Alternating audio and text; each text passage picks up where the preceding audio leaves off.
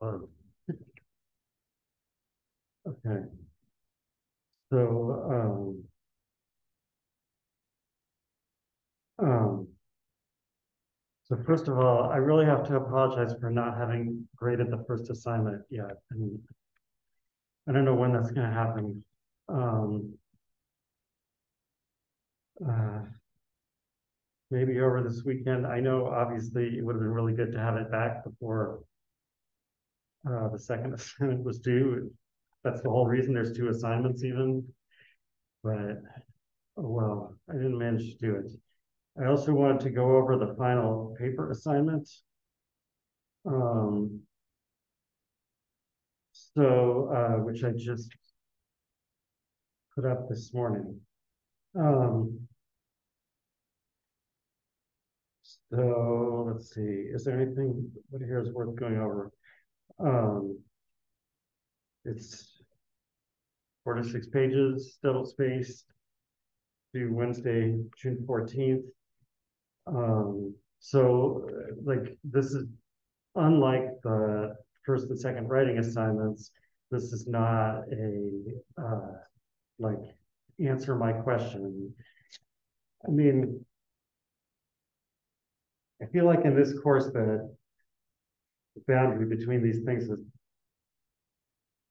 a little more blurred than usual, but still, this is the, so what they, they, what these prompts are is not questions you're supposed to answer, but like suggested topics together with various like suggestions about ways you might think about the topic.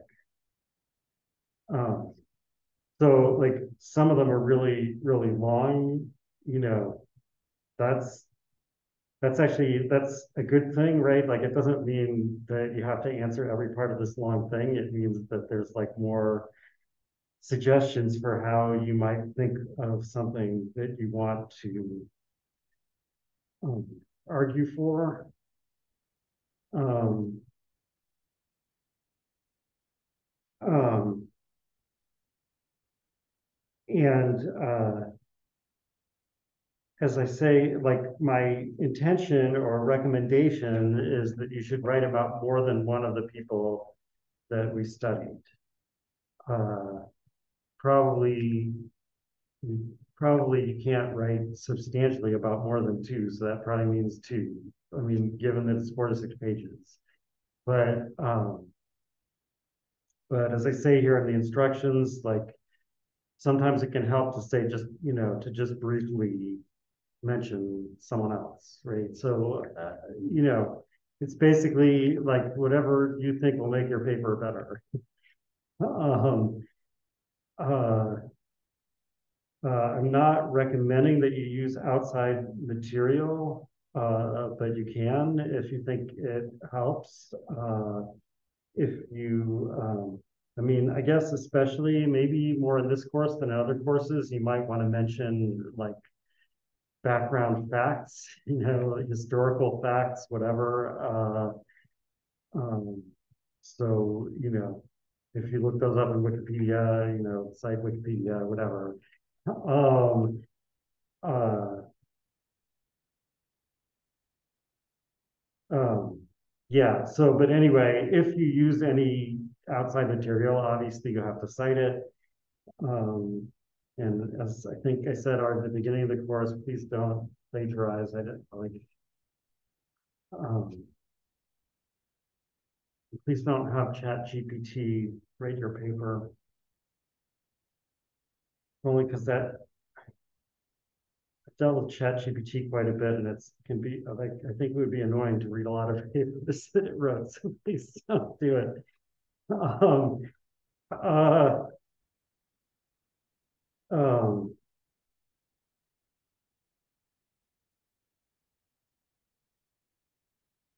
oh, okay. Now there's two people here. um, so, um, right. So, uh, in most of my courses where there is a final paper, I say that the the intent of the paper is to talk about the views of the authors we read not like, as opposed to about your own opinions about the subject.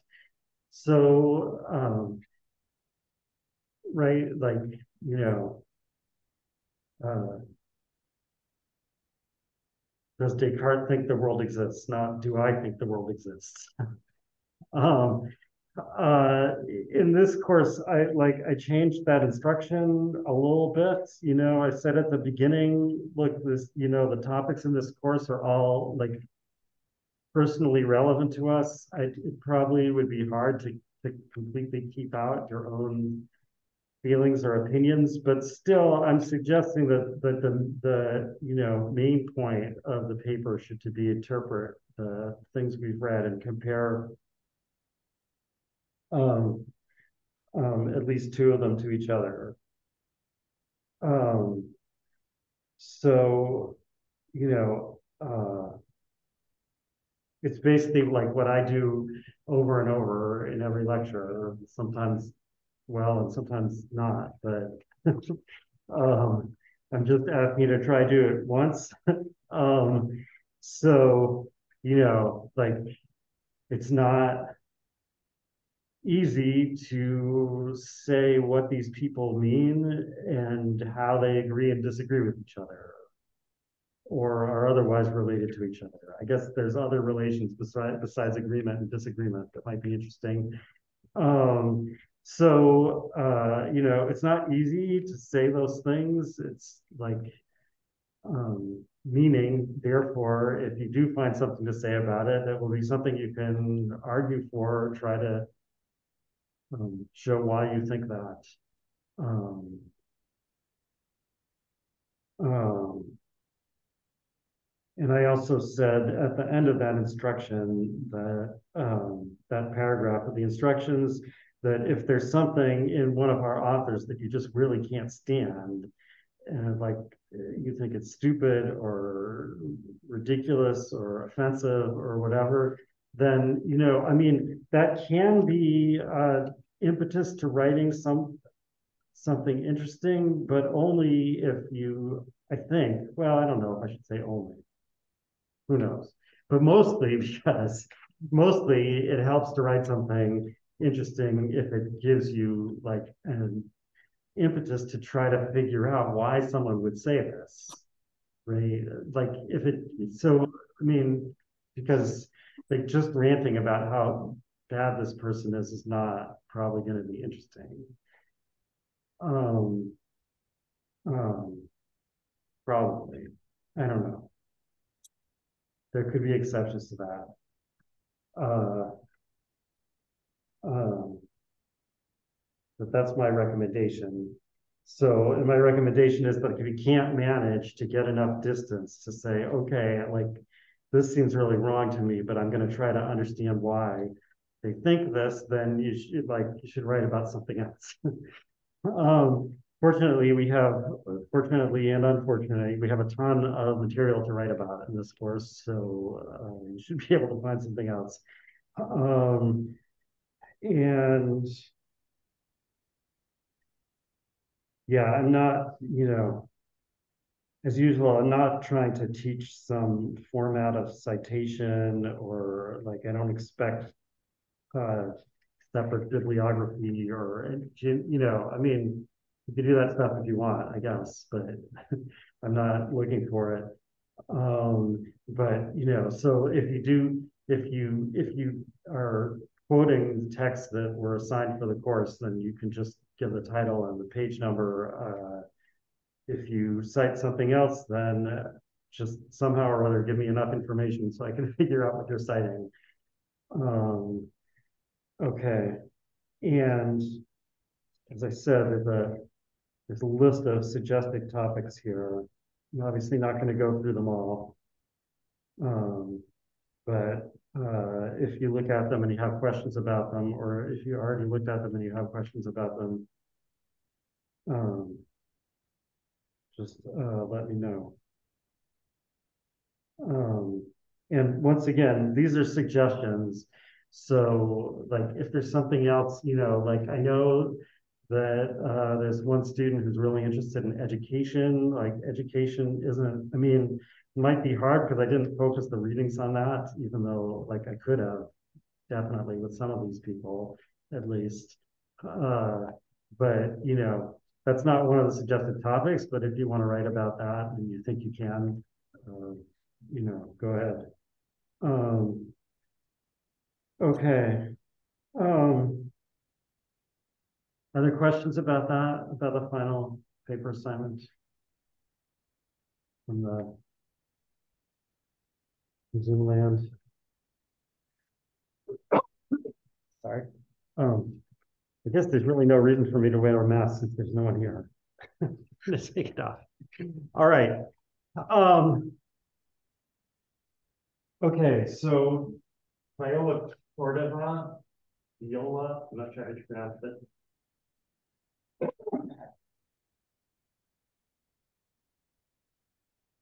Um, died in 2002. Um, um, he was still alive today. Uh, yeah, should be getting up there in years. um, anyway, um, uh, I'm not going to say a lot about her biography because uh, a large part of the assigned reading is about her biography. That is, she tells a lot of things about her life and her family. Um, uh, so I'm not gonna just like go through that. If you, if you want to know, you should look at what she says. I think. Um, uh, I will just say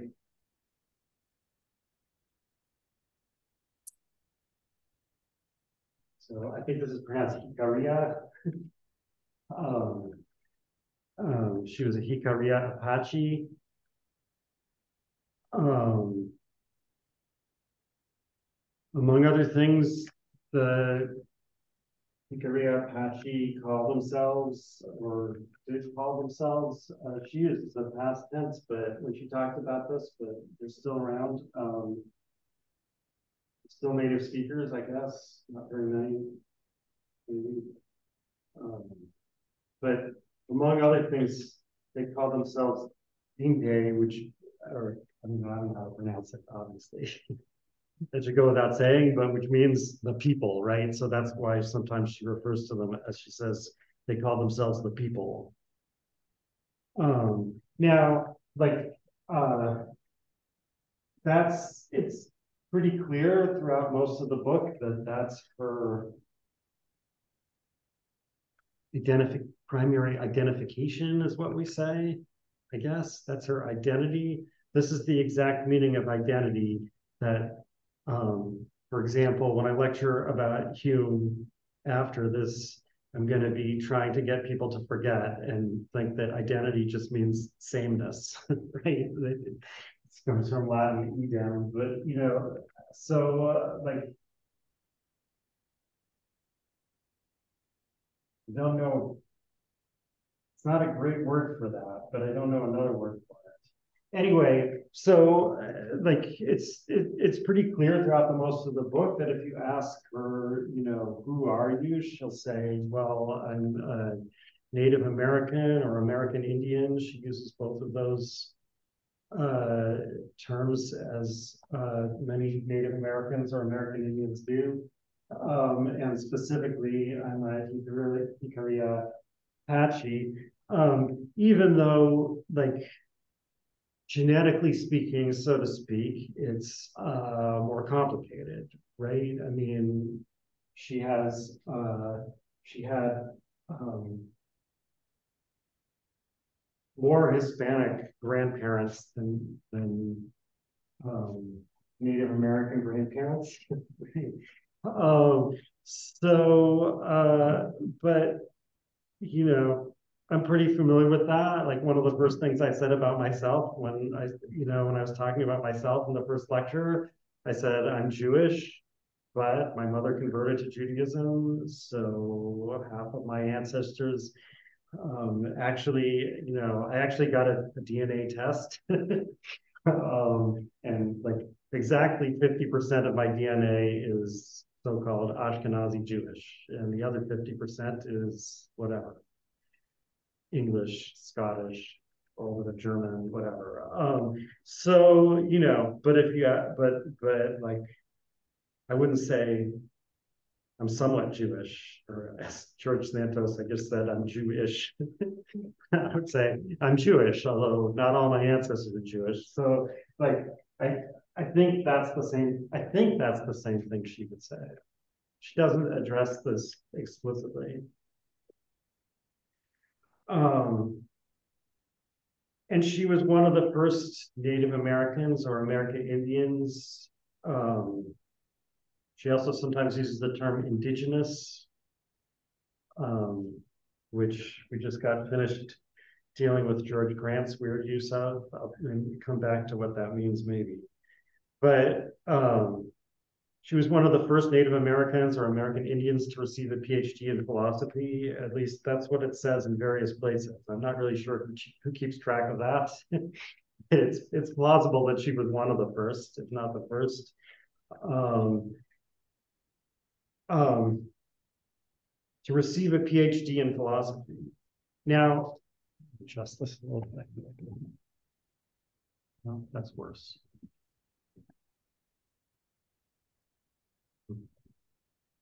So, uh, PhD, Sophie I. Doctor is, uh, you know, um, title that's come down to us from the Middle Ages, the medieval, the later Middle Ages, the, the later Latin Middle Ages. Um, uh, it's uh, if you think of that as I do as a very specific historical tradition, then um, receiving a PhD is kind of like getting adopted into a um, tribe almost, especially if it's a PhD in philosophy, right? Because we're, you know, we're the ones who still call ourselves that. You get a PhD in, you know, chemistry or something, you don't say I'm a philosopher, you say I'm a chemist. Well, um, so uh, so she was the one of the first to do that, but of course, but now I'm about to raise questions about this, of course. Of course, she wasn't one of the first Native American philosophers. So, like it, right? Meaning you don't have to be a member of that particular historical tradition to be to count as a philosopher. Now, I mean, like in some sense, that's obvious, right? Like Socrates didn't have a PhD. um, uh, so uh, if you if if you really mean the descendants of the medieval Western European university, then um, of course that's not all of what we call Western philosophy. Whether that's that's pretty much a bad name for it, actually, I think. It could be called maybe Greek philosophy or Socratic philosophy. um, uh, or Athenian philosophy, maybe. Um, but in any case, uh, um, so you know, so then when when you say that, well, no, okay, I'm getting myself off track. So I said, in some sense, that's obvious. It's not even all of Western philosophy. But if you mean more, if you think of it more broadly, you might say, well, is it obvious? And uh, like, I think I said that in this in this course at the beginning, although I have a hard time remembering what I've said in what course, but um, that, you know, like, uh,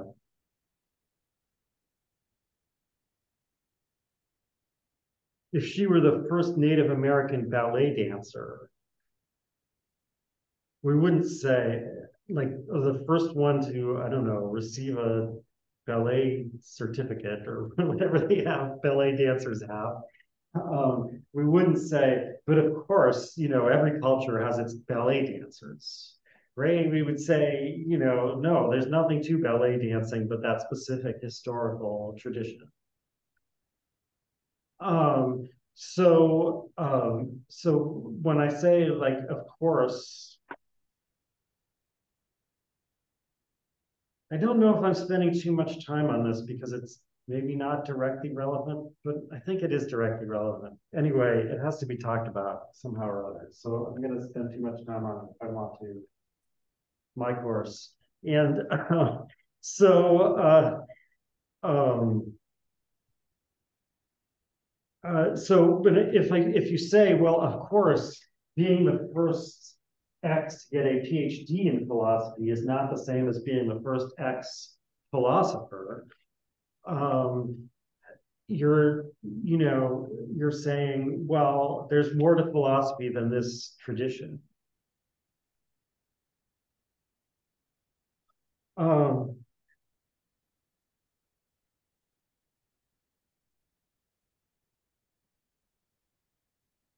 So philosophy, you're saying philosophy is a term more like dance than it is like ballet dance, right?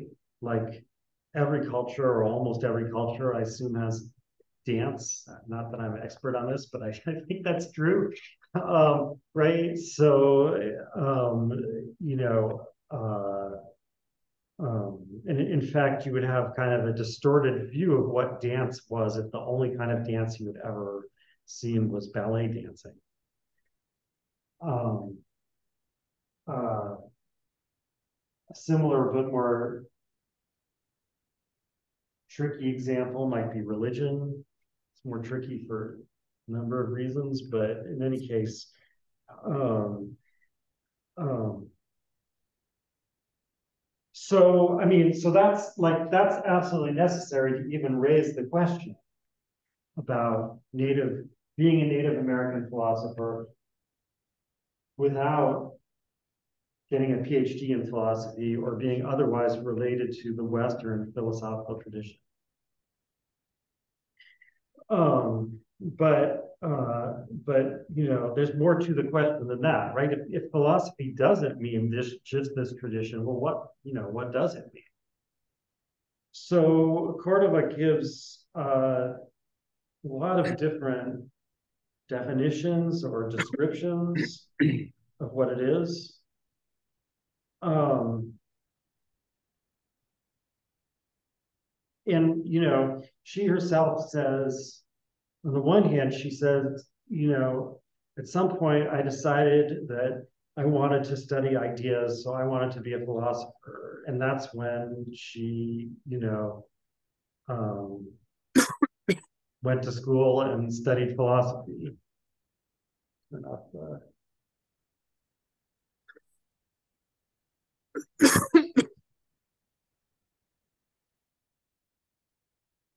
um, that's when she went to school and studied philosophy. But she also says, looking back on it, I realized that in the like conversations around the dinner table with my father, we were having philosophical uh, dialogues or whatever. Um, so, uh, um, so like she, she did deliberately try to study, she often calls it European philosophy. That's certainly um, too restrictive because, um, you know, like for example, Avicenna, who was Persian, is like one of the central figures in the whole history of Western philosophy. Um, uh, you know, Thomas Aquinas quotes him practically every sentence. That's an exaggeration, but let's say practically every paragraph, very often. so, um, you know, but he lived in Persia. He wasn't a European philosopher. Um, and, you know, and he wrote in Arabic, although obviously he wrote a few things in Persian, actually. Anyway, I'm getting off track. I need to get back to, I think it's harder to lecture without an actual person there, but oh well. Um, so, um, um, right. So what I was saying is, oh yeah. So, so, so Cordova both wanted to study Western philosophy and deliberately set about to do it, but at least after the fact, she says, but of course, that's you know that doesn't exhaust philosophy. So what what is philosophy? So one thing she says. Um, this is in the piece that's titled Windows on Native American Philosophy, page 54. So, um,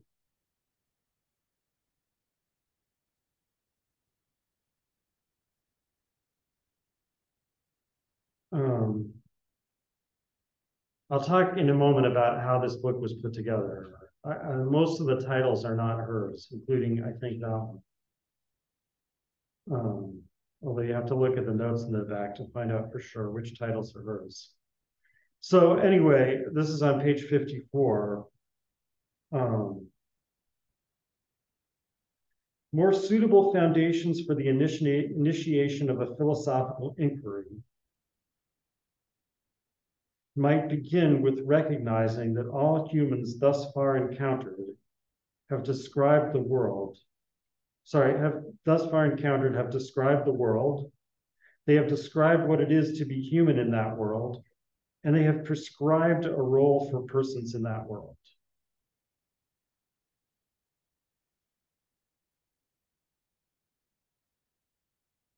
Right. So, I mean, again, I don't know if this is supposed to be a definition of philosophy, but she says it's a good start for philosophical inquiry. It's a way of starting philosophical inquiry without assuming that the concepts of a particular culture are the right ones.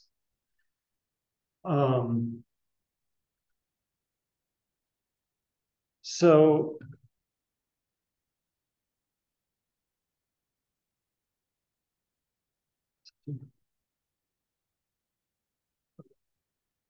um,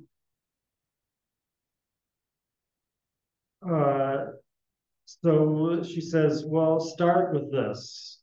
You know, um, think about these questions. How should we describe the world? How um, should we describe um, what it is to be human in that world? And how should we prescribe a role for persons in that world? Um, those sound like they could be three like branches of philosophy, maybe, um, or could develop into three branches of philosophy. Um, she says this is a good way to start because, well, um, because all humans thus far encountered have done these three things. So meaning that if like if these three things are are if answering or discussing the answers possible answers to these questions i'm i'm hedging that a little bit because one of the things that she says is that you you know you shouldn't be well shouldn't. Anyway one of the things she says is that um, westerners or americans or some Euro Americans, some group like that are focused on finding answers. And she was brought, brought up to focus on questions. Um, so, uh, so anyway, like, um, when you, if when you start dealing with these questions, you're doing philosophy. And if it's really true that all humans thus far encountered, and is this really something we think because we've looked at a list of all humans thus far encountered?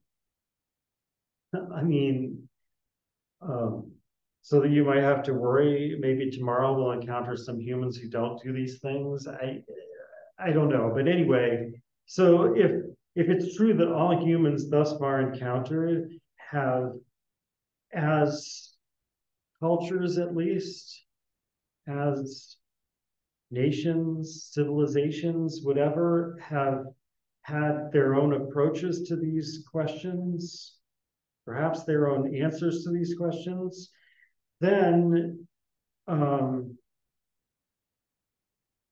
it would be true, I think, that all human societies or cultures or nations or whatever the right term is here have philosophy.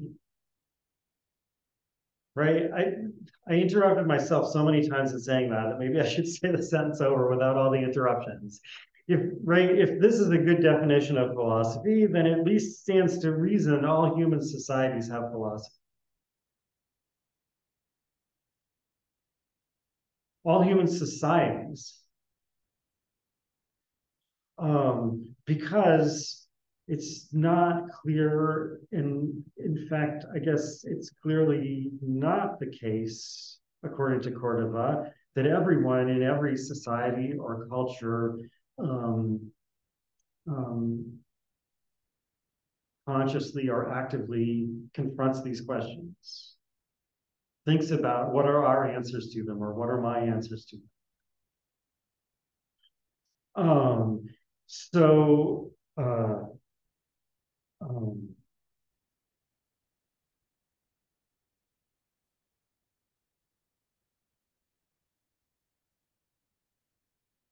um, but uh, it is true that that everyone is living with certain answers to these questions.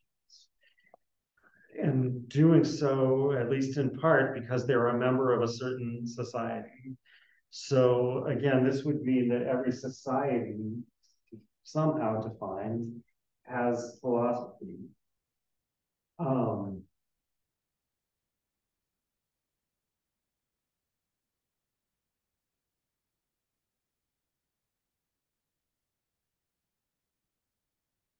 now, I mean, you might think, therefore, I'm going to just say society here. I don't think she uh, doesn't use the term meaning that in this exact context. She says culture a little farther up the page. I'm going to say society because I mean because this should like take us back to all those people who are talking about individual ethics versus social ethics um, um, like you might think before we say what it is for a society to have a philosophy, we might want to say what it is for an individual to do philosophy. Do philosophy is something we say a lot now, but that's pretty recent. Um, pursue philosophy, uh, right. So we might want to say what you know what it is for an individual first, and then worry about what you know like. Okay, so how does the society have to be related to individuals called philosophers to count as having a philosophy, or as having philosophy? Right, like I mean, if you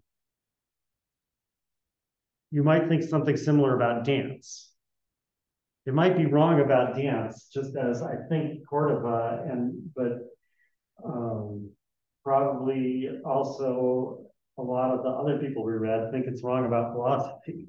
But still, you might think this about dance, right? So, what does it mean for us, for a society or a culture to have dance?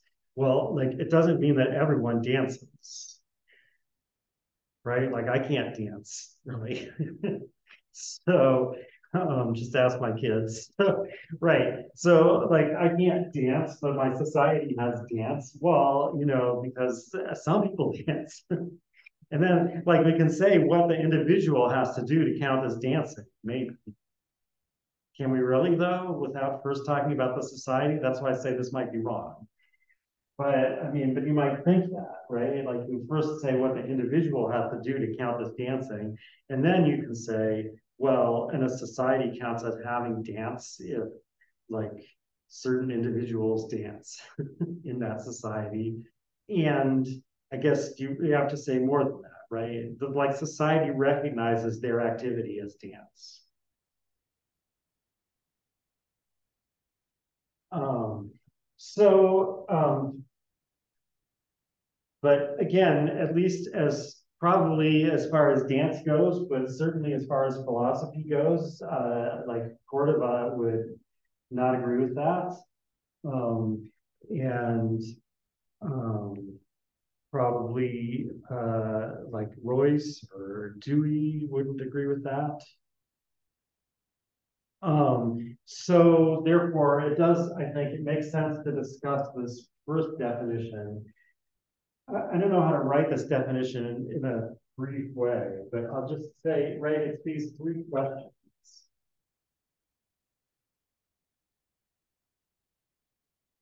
and the editors of this book, so you can um, you can't see that using what I put up on Canvas because I didn't put up the table of context contents, but um,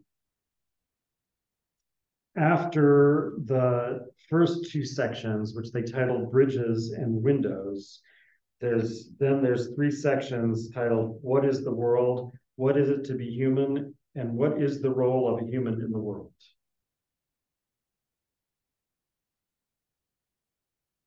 Um, although based on what she said here about prescribing roles, maybe it should say what should be the role of a human in the world.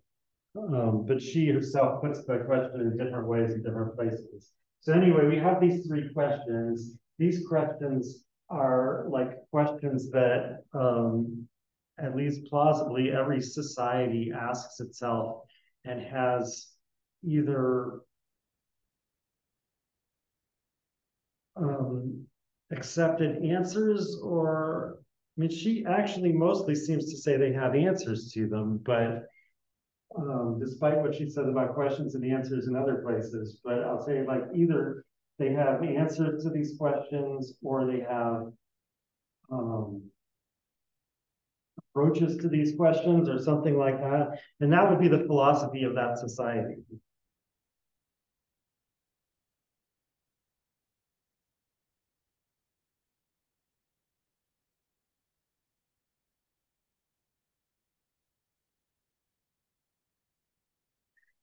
Um,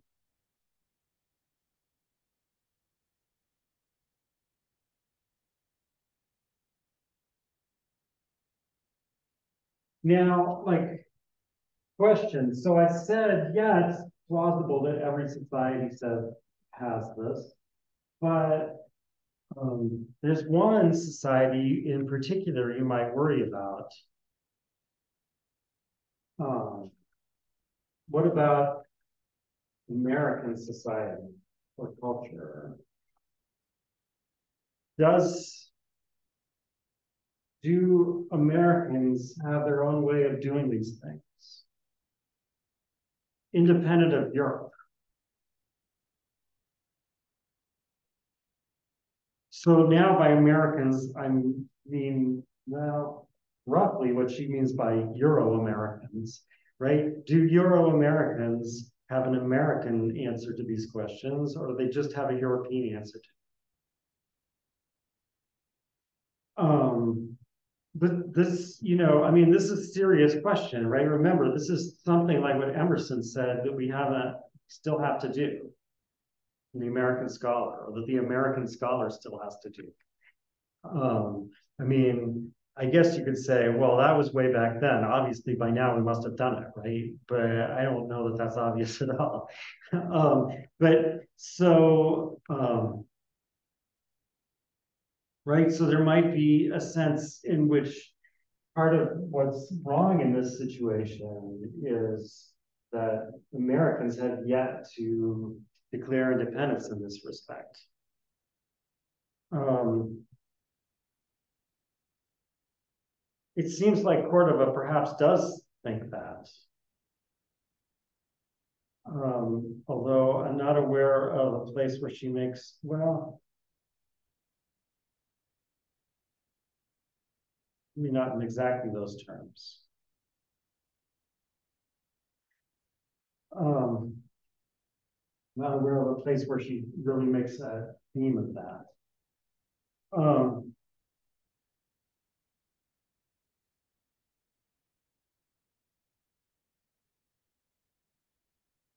okay, so like, um, That, that's one answer. Here's another answer. So this is in the, the section titled Windows on America. It's in page fifty.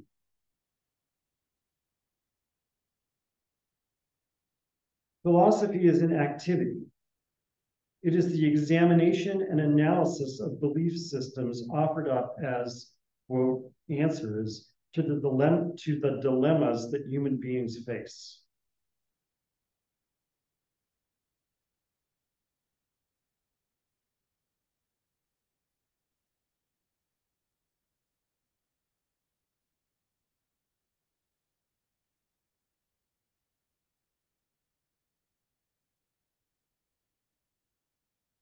So, um,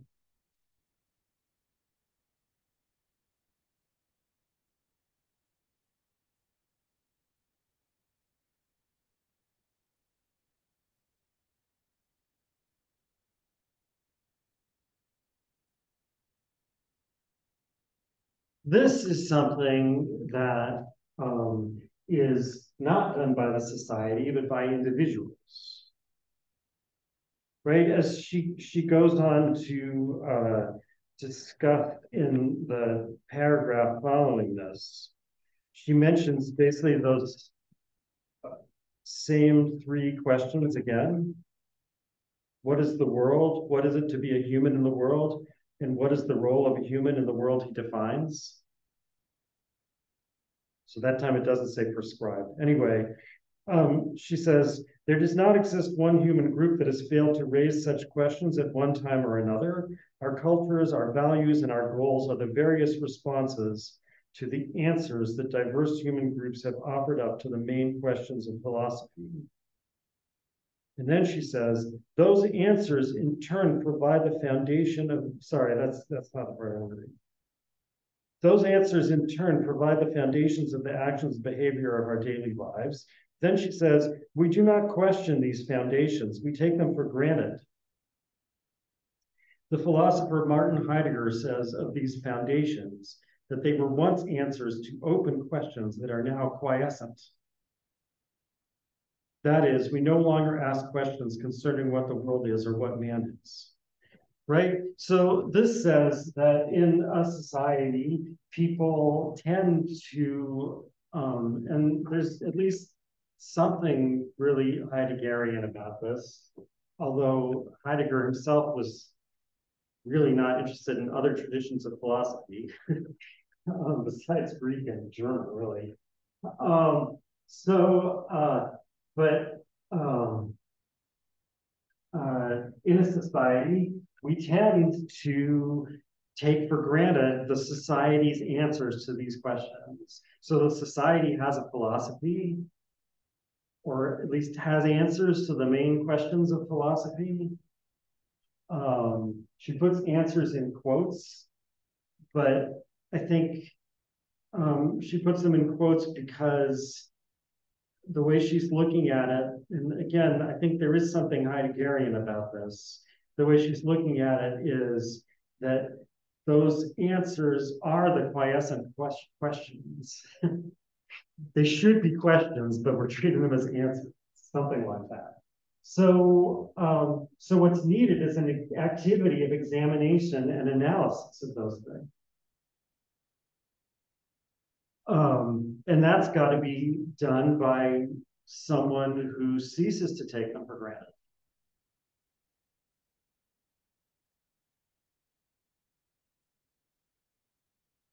Um,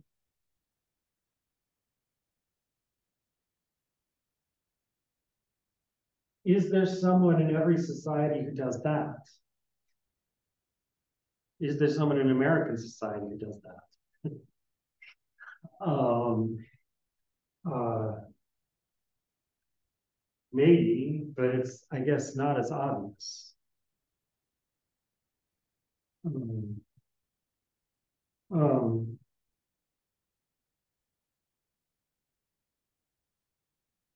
I guess we could say though, at least that um, if this is what philosophy means, then it's a kind of permanent possibility for every human being.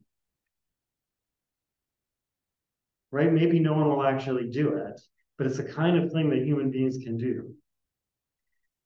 Um, and assuming that every society has these answers, that there's always like some, there's always a way that you could or should be doing it. Everyone should do it.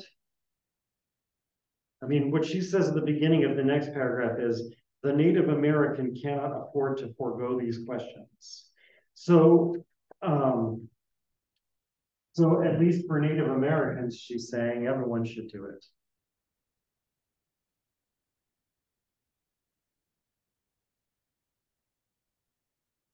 Um,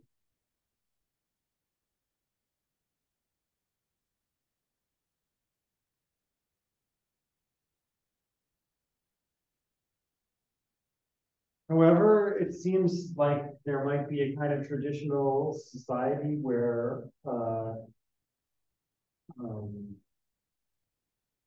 no one does this, or where if someone does it, they are not fulfilling one of the roles that the society sees for a human being in the world. Um, so, right, like what I said about dancing, that um, if there were a society where there was someone doing a little whatever, I told you I can't dance, but doing a little, but everyone else just treated them like they were um, um, trying to get exercise or having a fit or whatever, right? Like no one recognized that as dance, then you might say that they're dancing, but their society doesn't have dance or something like that. Um, so like, so I, I, I think it's, you know,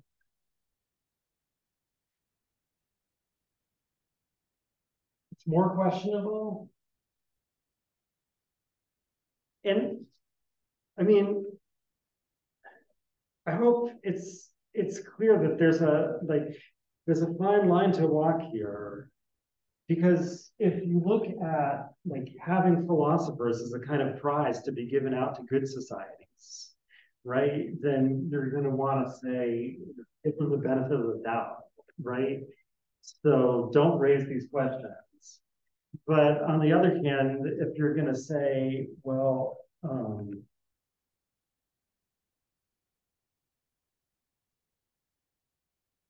maybe philosophy, maybe we would be better off without it, for example. or if not that, maybe um, there's specific reasons why we at a certain time and place need it.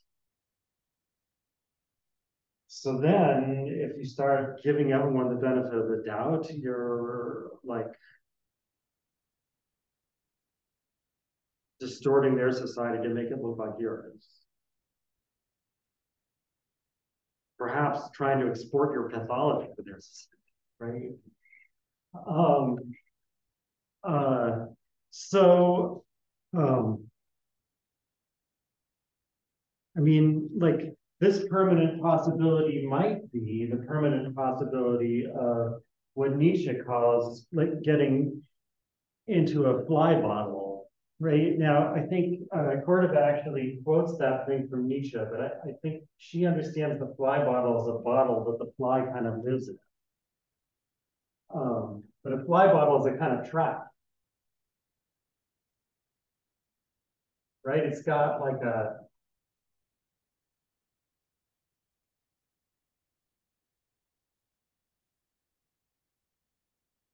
and I guess there's some kind of bait to like lure the flies in flies come in here and then um, they can't get back out again because they they don't they tend to fly up, not down. So they get trapped in here and then eventually they, they fall into the whatever you put here, like water or vinegar or poison or something, and die. Right, so like when Wittgenstein says that his, that maybe philosophy. He portrays a possible role for philosophy as showing the fly the way out of the fly bottle.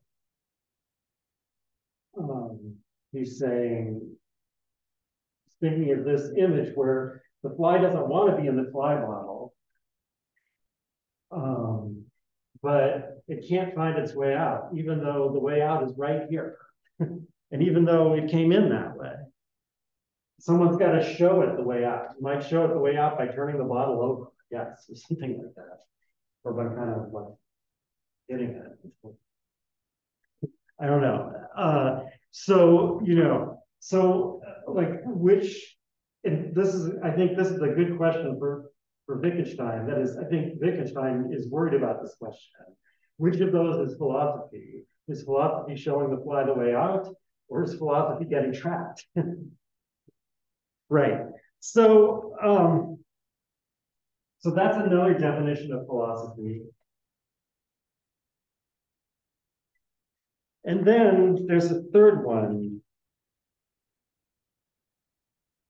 This is on page 60. I think there's more than three in this book, but these are the three that I want to focus on.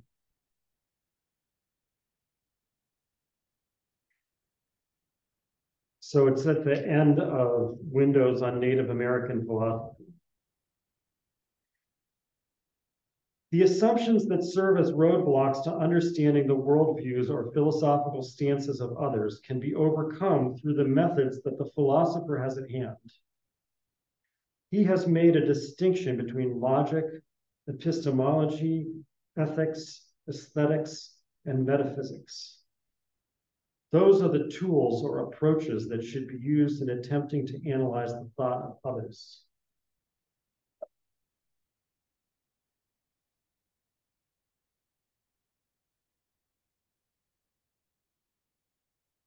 Not writing this up probably in the same order she has them up, but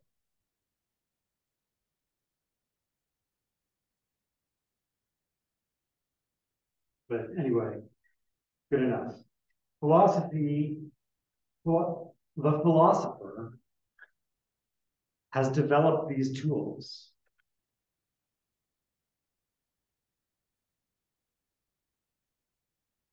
And these are the tools that can be used to, well, so like you might think these are the tools that can be used to do this.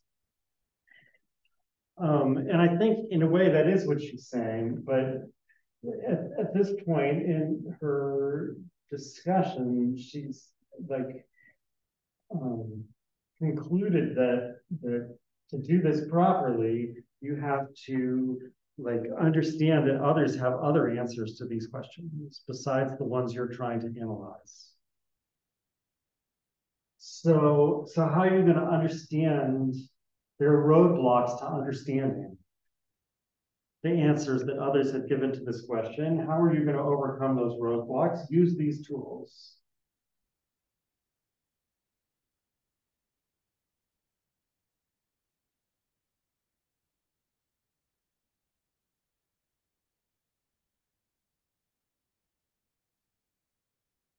So this is a little worrying. Um,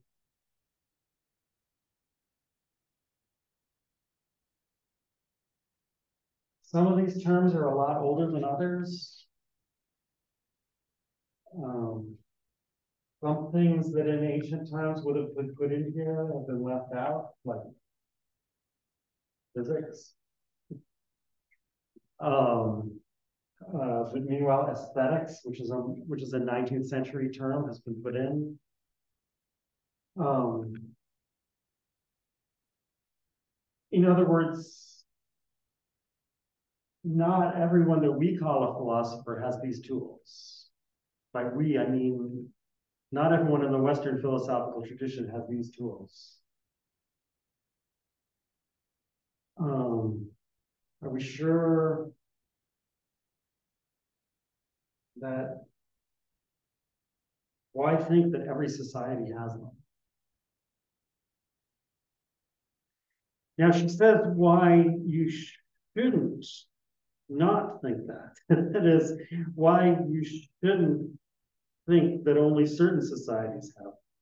This is on page 55, near the beginning of Windows on Native American Philosophy. It is assumed that metaphysics is a philosophical activity that lies outside the capabilities of any, anyone other than advanced civilizations. Such cultures are assumed to operate in, oh, sorry, so, because I have to read this in between here. An indigenous tribal culture, tribal culture, by virtue of not being a culture like that of the advanced West, is presumed to be on a different level of development. Such cultures are assumed to operate in the realm of superstition or imagination, as opposed to the higher activities of observation, experience, and reflection. So that, I mean, that does seem like that would be a bad reason. um, um, I mean, uh,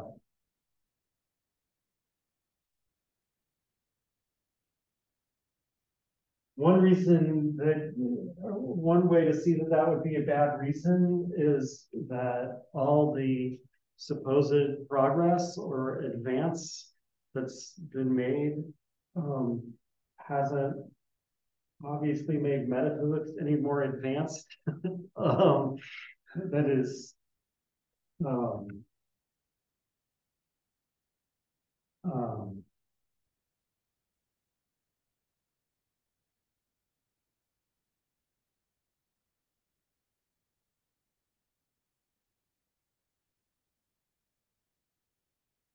it would be more plausible to say that about physics.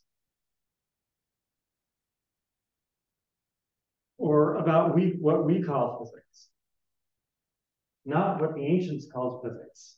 So, I mean, and that right away shows that it's less, you know, that um, we're talking about something more reasonable here. If we say what we call physics didn't exist here until the 17th century. Now, like if we say that, that's controversial, but suppose we say that, then um, um, it seems plausible to say, and it didn't exist anywhere else either. but metaphysics, you know, I mean, uh, the term is not as old as the terms logic or ethics, but um, but the book that is called Aristotle's Metaphysics is as old as these terms. And moreover, Aristotle takes it for granted that people have been doing it for a long, whatever he's doing, for a long time before it. Um, so, uh, um, so it, it would it would definitely be a bad assumption that only certain kind of societies are capable of metaphysics. On the other hand, um, like um I've personally have spent uh not so much recently because I'm so busy, but I used to spend a lot of time studying rabbinic Jewish literature, what we call the rabbinic period, like the Talmud is what you probably would have heard of.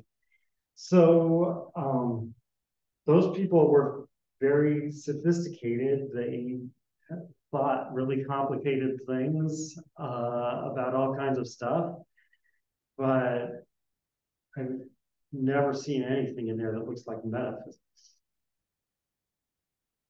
Terminology, um, they borrowed a ton of Greek terminology, but not Greek philosophical terminology. Um, because they didn't need it, I think, because they weren't talking about that. Um, and there certainly is a lot of superstition and imagination in the Talmud. Now, it would be wrong to say that they operate on that level, because that's not all that's there, but there's a lot of, there's like page after page about what it's dangerous to do because otherwise demons will get you. It's dangerous to walk between two palm trees, whatever. Um, uh,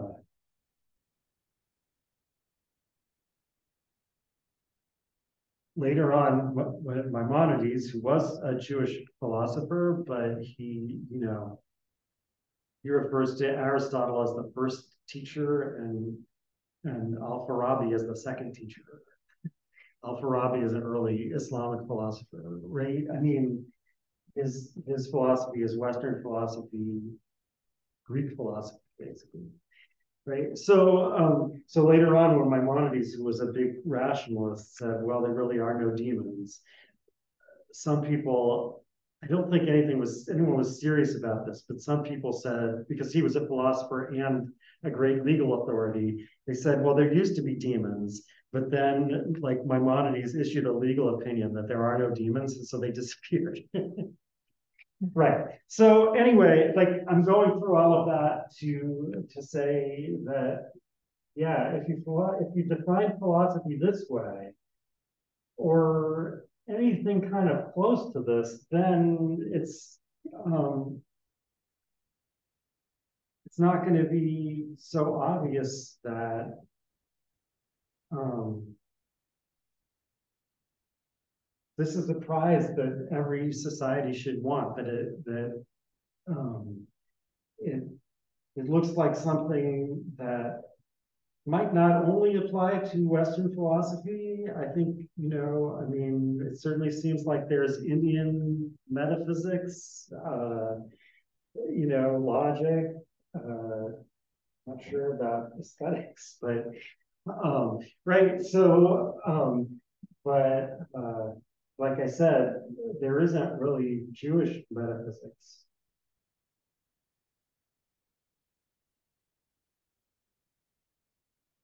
There's no metaphysical discussion of God in the Talmud, let alone in the Bible. There's stories about God. In some stories, he seems a lot like a human being, a lot, right? So, um, uh, doesn't seem doesn't sound like the you know the most the infinitely perfect substance or something like that. All right, so like what I just went through was basically like a very long digression that started. I mean, like I planned this, although I had my doubts about it in the middle. I planned to do it, and now I've done it. This is all like a very long digression in the middle of saying who um, Viola Cordova was. Because remember, I said she was one of the first Native Americans to get a PhD in philosophy, but of course not one of the first Native American philosophers. And then I stopped myself and like analyzed that, of course, and tried to figure out what you would have to mean for by philosophy for it to be of course, and what if you meant that by philosophy, it wouldn't be of course. And um,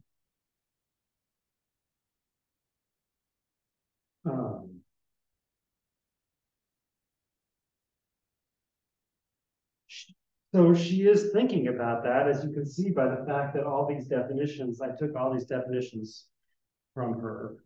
Um,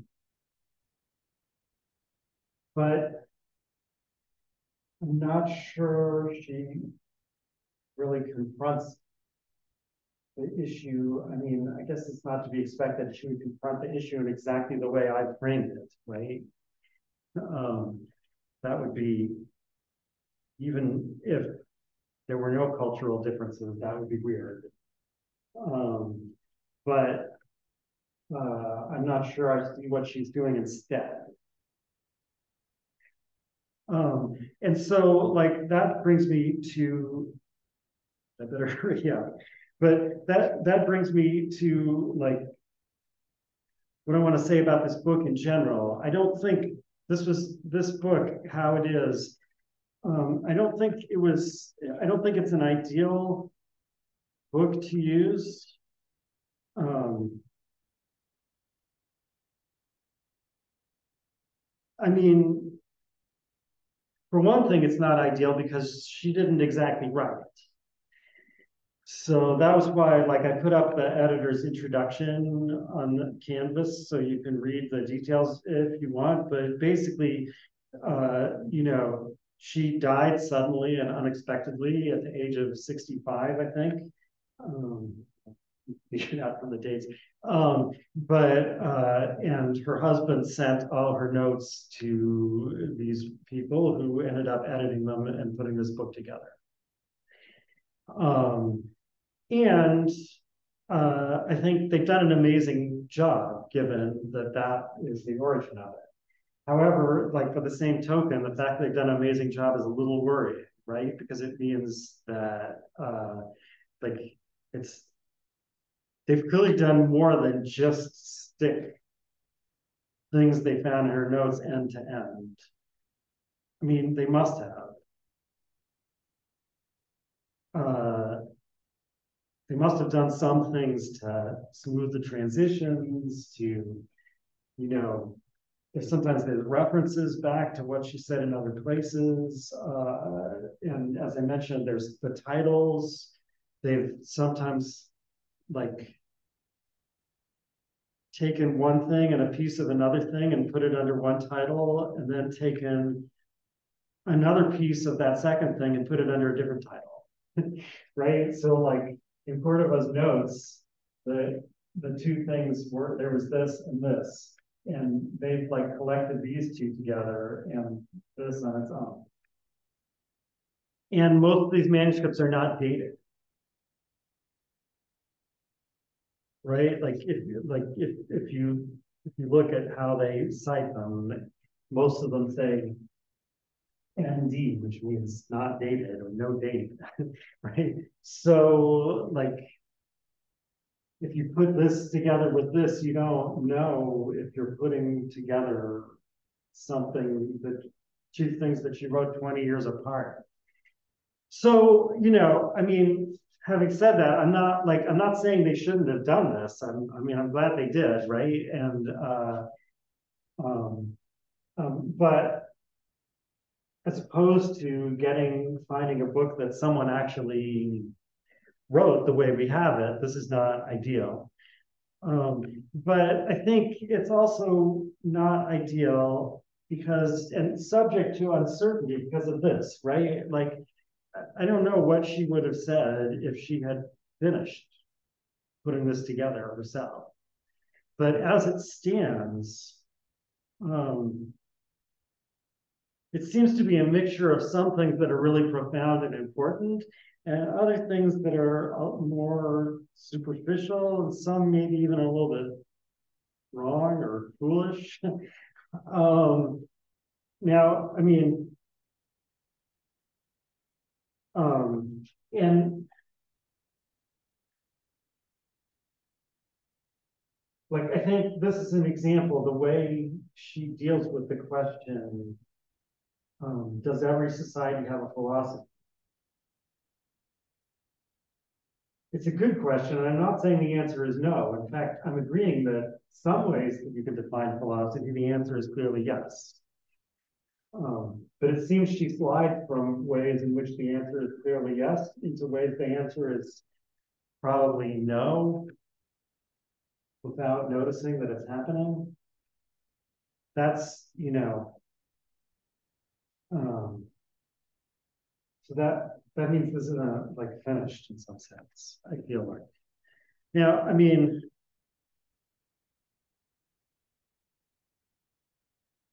I'm gonna whatever time I'm leaving for myself after this very long introduction. But you know, I mean, her book is even though again she didn't write this book, but this book is the same way, right? There's a huge long introduction about who she is and where she comes from, and she explains why that's there. Um, so um, in a way, I'm responding to that on the same level. There's this, this huge introduction about what I think about this book and how it relates to me, um, and then hopefully have some time to say like something about the actual views or arguments that relate to other people who read in this course. So, you know, um, so I don't want to focus on the, the, parts of it that I think are questionable. I mean, if nothing else, that would be I, another thing I told yourself you about myself on the first day is I'm a Mayflower descendant, right? So this lecturing to you about Native American philosophy is a tricky situation to be in. Um, spending the whole time criticizing for arguments would probably be a really bad, bad thing to do.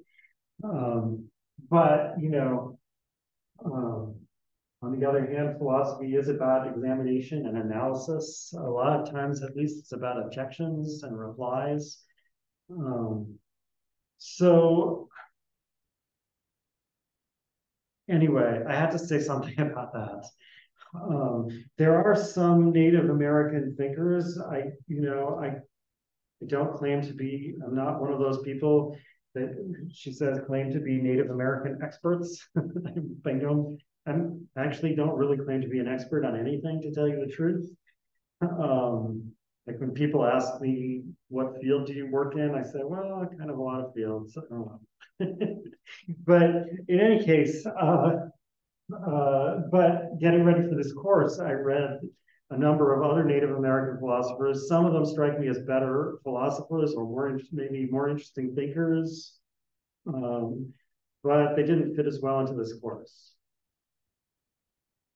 One person, a contemporary person I can mention is um,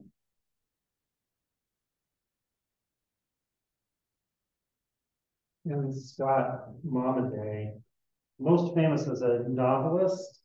Probably, I don't know that he even, like many of the people we study, I don't know that he even thinks himself, himself as a philosopher. Again, right? Like, should he think of himself as a philosopher? What is philosophy? These aren't the only three answers. um, but he, he's probably best known as a novelist, but he also wrote a lot of essays and poetry. Um, he's a um,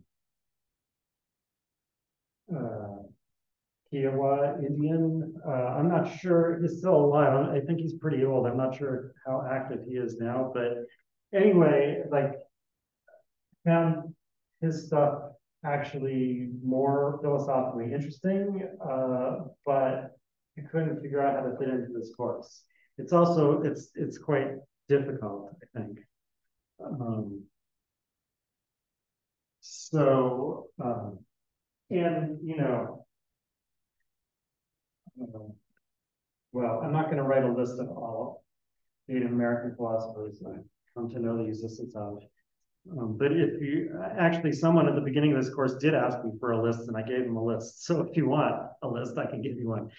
Um, all right. Um, one more thing is that uh, given that this book is like maybe not ideal, but um, I mean, like I knew when I said I was going to teach this course that they definitely had to be. There should be a lot of Native American philosophy in it. Instead, I've only got this one little thing. Um, I mean, you could imagine that that would be all there would be in the course. Especially if you thought that American philosophy was really European philosophy. You might think that if you have a course about American philosophy, it should be about Native American philosophy, beginning to end. But so in any case, I knew that I couldn't have this course without something of that nature, and this is what I came up with. Um, but having gone through the assigned reading, I don't know what I was thinking when I chose. I, I mean, that all of these I chose, I think, are good and relevant, but I think like some of my favorite or most relevant passages somehow didn't make it in. So at least one of those I'm going to read um, in a moment. Um,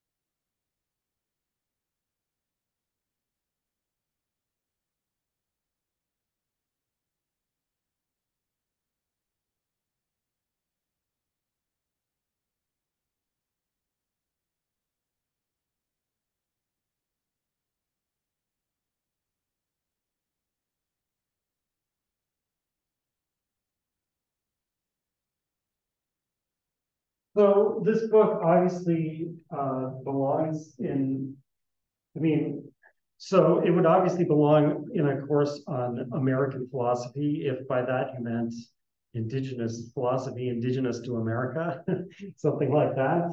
It would belong in a course like that.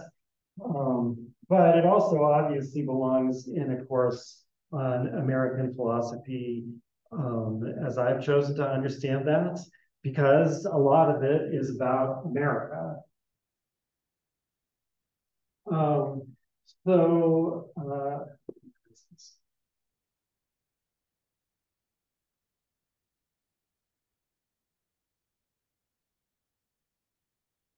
now, like, I wrote a bunch of notes about this. I think I shouldn't get bogged down in it.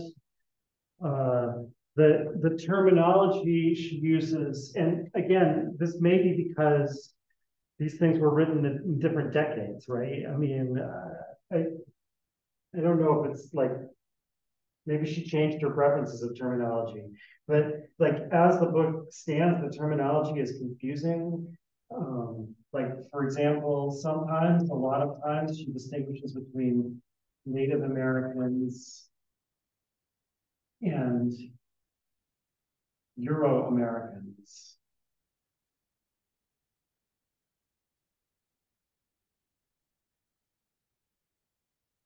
Um, right? Meaning these are both two different kinds of Americans. So if you said a lot of the book is about America, you would have to mean, well, it's about this and this. Now, I mean, of course, that's true. It is about both those things, among others. But um, but when I say the book is about America, I think a lot of the book is about America. I think I'm using America in another way that she sometimes uses it. Um, uh, as in, and this is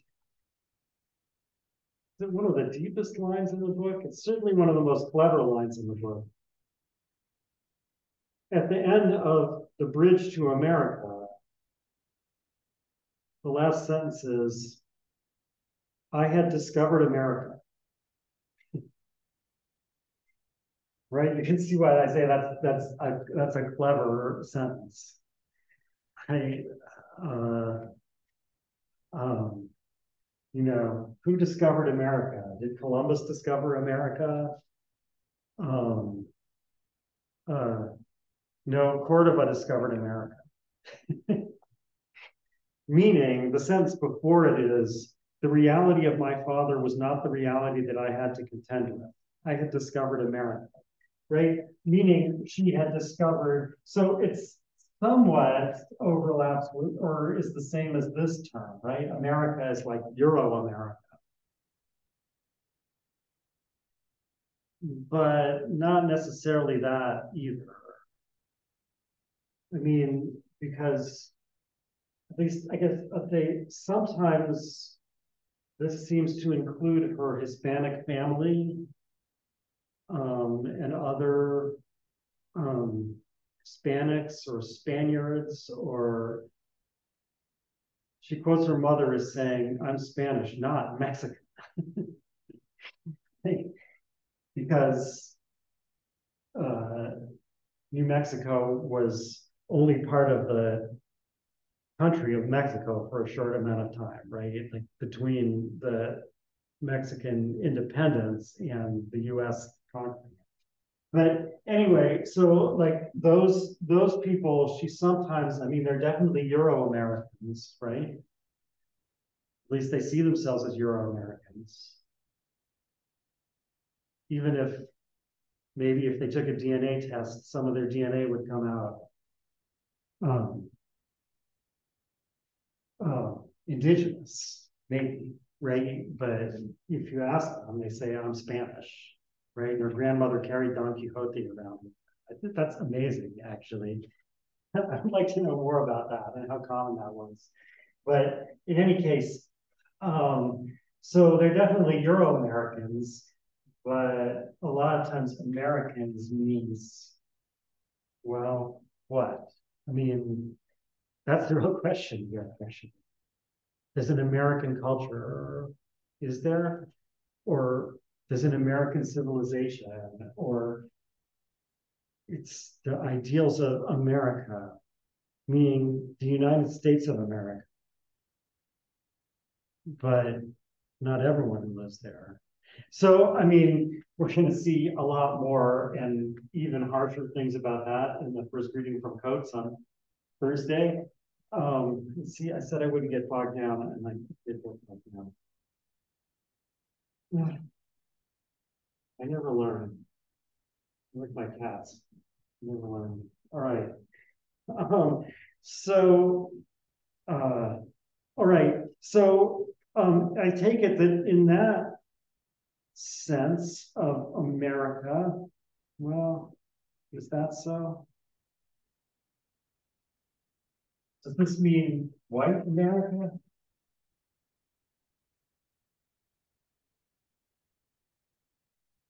Well,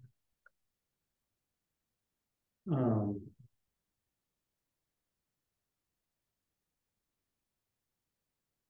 Black Americans are not Euro Americans. Whatever the DNA test would say. They're not Euro Americans. Um, um, so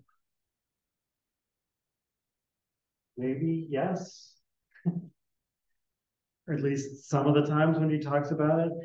Um, and so at, at the beginning of the, or I guess not at the beginning, in the middle of the section that's titled just America, and that I checked is not her title, unfortunately, but she says, um, so she says, an Indian working on a PhD told me, I'm tired of people getting PhDs on the information I give them. I'm getting my own degree, right? Saying that anthropologists keep like asking for information on um,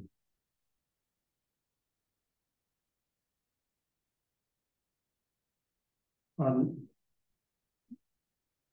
they're saying that anthropologists keep asking them for information on their culture and uh, they're tired of it and they're going to become the expert themselves. But then the next paragraph, Cordova says, I, on the other hand, decided to study white people. I wanted to be a white expert. right.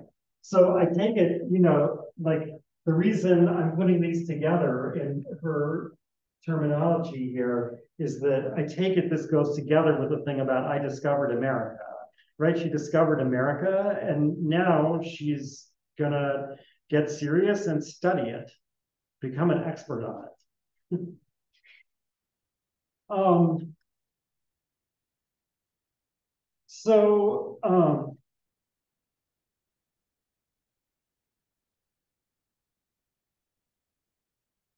And this is what she said happened when she tried to do this. Yeah, I don't know at what point in her educational career we're talking about here. Um, I mean, she first got a BA relatively late, and then she got an MA and later a PhD. From the BA was from forget, I think it was in Oregon or something. The MA and the PhD were from the University of New Mexico in philosophy. So I don't know if this was while she was already a grad student in philosophy or before that or what. But anyway, so she says, you know, um, it's uh,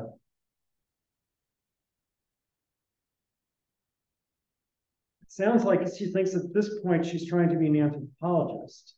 The flaw here, of course, was that anthropological studies don't quite make it. People who are accustomed to seeing themselves as superior beings, this is on, by the way, I don't think I said this is on page 44, um, don't relish being prodded and questioned. As long as my questions were perceived as a means of learning to become one of them, I was well received.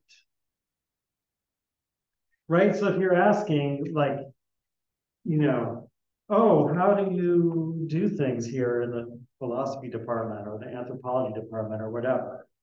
And, and I say, oh, well, this is how we do it, and this is how we do it. And, you know, that's great. You're asking really good questions. Right. But she says, you know, so as long as because I'm thinking, you know, and you're asking those questions because now you're going to try to do it too. You're going to try to be one of us. Right. But then she says, persisting beyond that. Right. So I think like if I say, you know, and this is what we this is what we do in a philosophy department. You say, well, why would anyone do that? well, okay, maybe I'm supplying the tone of voice, and she, but she's saying that like without without that tone of voice, it's perceived as having that tone of voice, right? So you say, oh, why would someone want to do that? then they start to get frustrated, right? So she says, persisting beyond that brought about charges of aggressiveness, arrogance, impertinence, and most of all, a charge that I had failed to understand what was being said. It seemed obvious to my artifacts. I don't know if this is is this something that anthropologists say, or is she? I'm not sure. Anyway, it seemed obvious to my artifacts that if I had truly understood, the questions would not have persisted. Understanding, in their view, being synonymous with acceptance.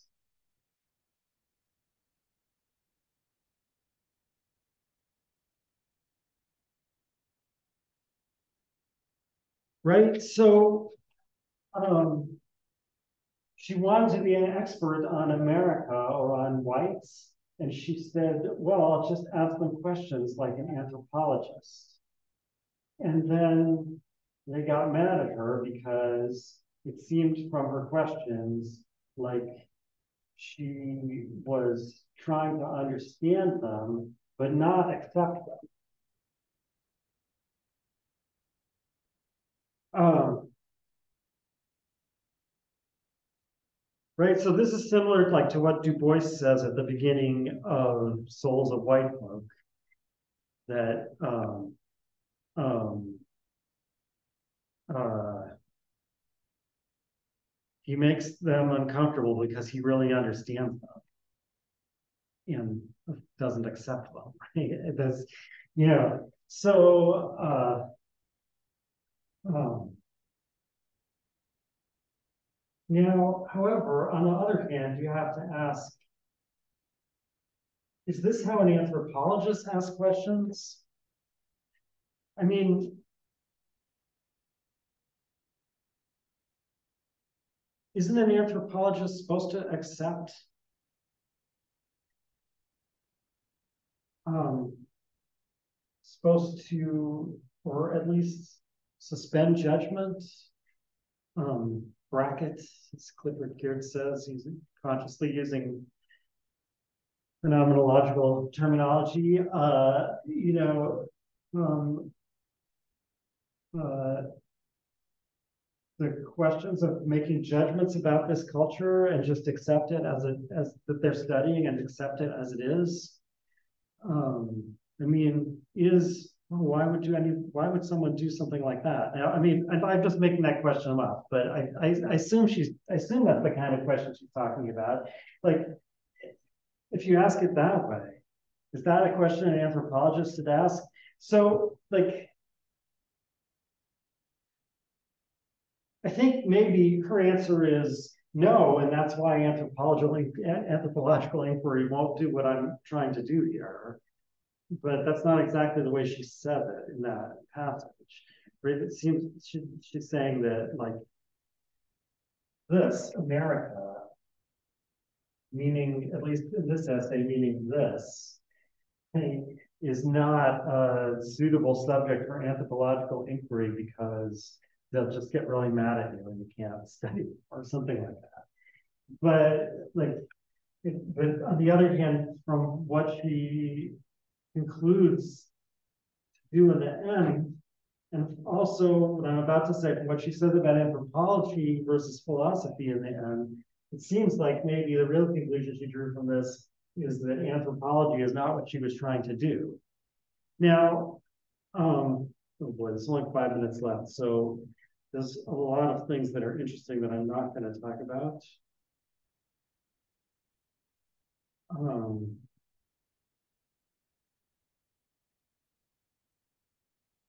But.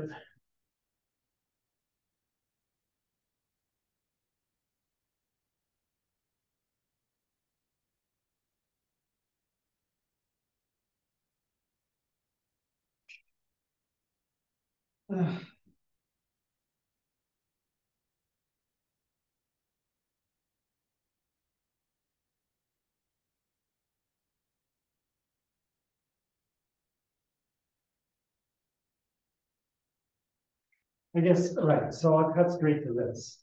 So, um. Like, from another point of view, you might say, well, yes, that's the ideal of anthropology.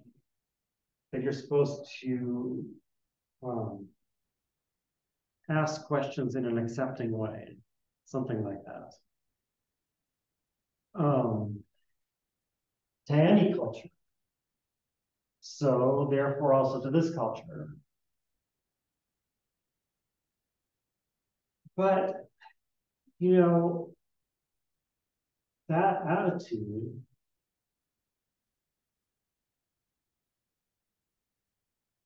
that um, idea for an activity came out of this culture and not other cultures. So don't you have to admit there's something unique about this culture? And if there's something unique, it could be something uniquely bad. right?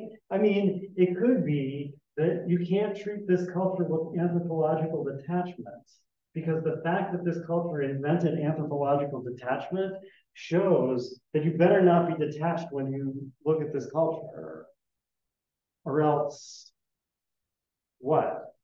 Well, you know, it's a dissolvent, as Grant would say, right?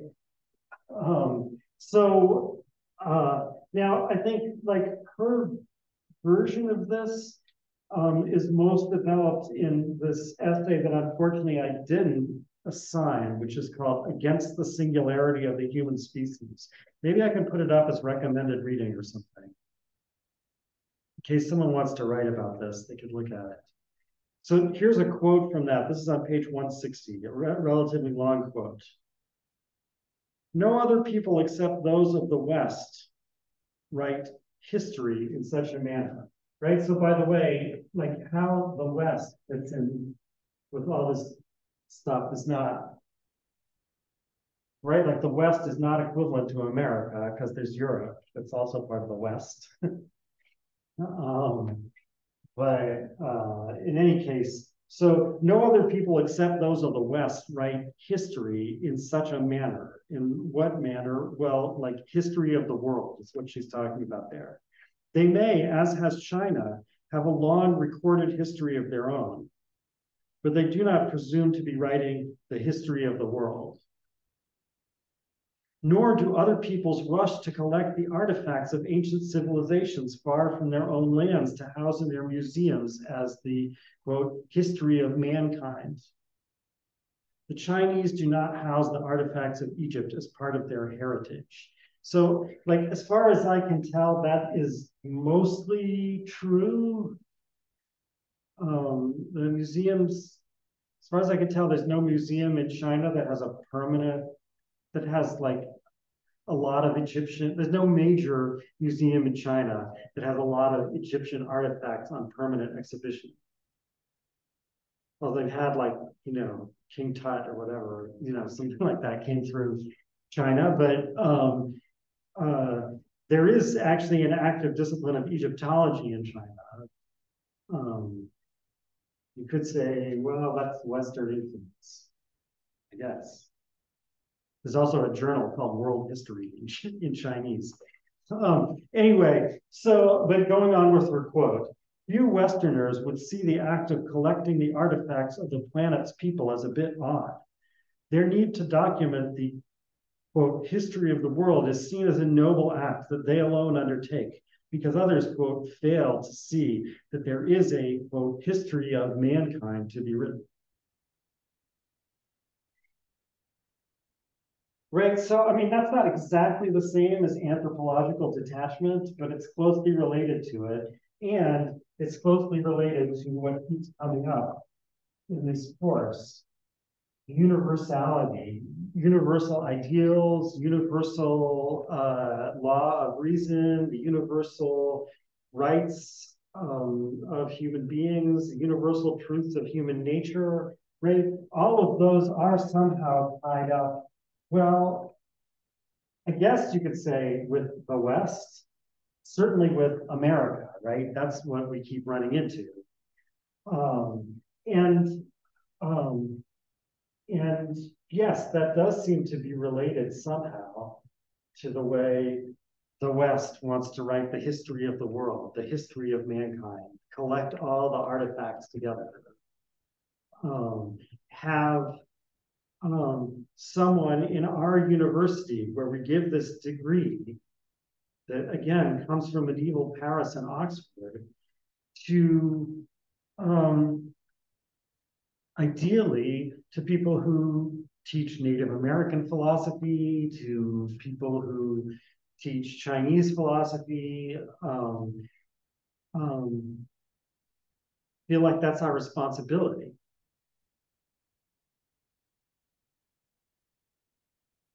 Um, oh my, I'm completely out of time.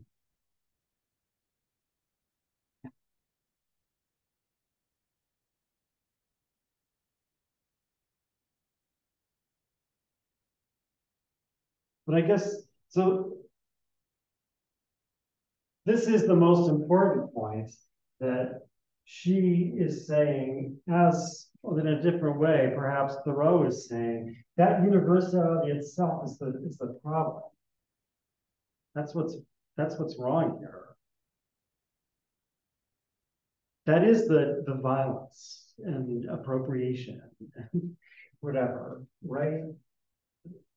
thinking that you're in a position where you're responsible for dealing with everything. Okay, I'm out of time and next course is appearing. Um, it would be good to go back and talk about the universality of philosophy because because remember we started with philosophy being and even the tools of philosophy being universal why does she think that about philosophy and not about anthropology? Um, but like I said, um, I'm out of time. So I hope some people will actually come in real life on Thursday. But anyway, I'll see you somehow later.